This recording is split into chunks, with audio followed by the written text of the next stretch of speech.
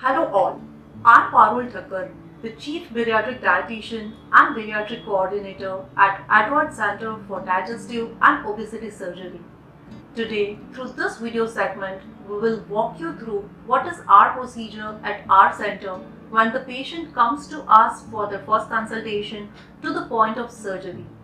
So, when the patient approaches us either directly at our center or if it is a video or telephonic consultation, we first of all try to get the primary details of the candidate their age, their weight, their height, their BMI, their waist circumference, and the medical problems that they are facing, especially those which are related to the weight gain. And after assessing all these things, we first of all try to figure out that whether the candidate falls into the category where they merit bariatric surgery or not, whether they'll have benefit from bariatric surgery or not, and whether bariatric surgery is advisable in that case or not. In case if bariatric surgery is not advisable, then we talk and discuss about the non-surgical options of weight loss and in those cases, the direction of treatment gets completely changed.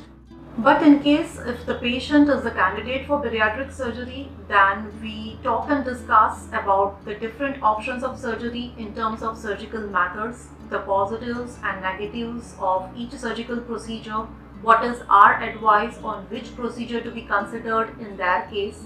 Although the final decision is taken after proper discussion with me, Dr. Chirag Thakkar, patient and the relatives. Apart from the discussion on the types of surgery, a discussion is also done on what are the likely side effects of the surgery, what are the small and big issues that may come up after surgery and how we are going to tackle them.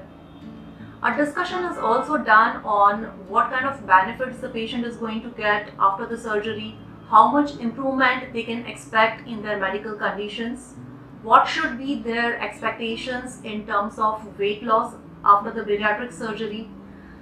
A discussion is also done on the changes in the diet pattern of the patient, the progression of the diet and uh, what would be the pattern of physical activity and exercise after bariatric surgery and how we would be able to guide them and help them throughout the journey of their weight loss. Apart from that, a discussion is also done on the supplementation that would be needed after the bariatric surgery, like in the protein supplement which would be needed in the initial period and uh, the iron and vitamin supplements which would be needed for a quite longer period of time uh, till at least uh, the weight loss continues. Uh, we also guide the patient on uh, how would be the pattern of follow-up, how long they will take to recover from the surgery and how soon they can be back to their normal life and their work.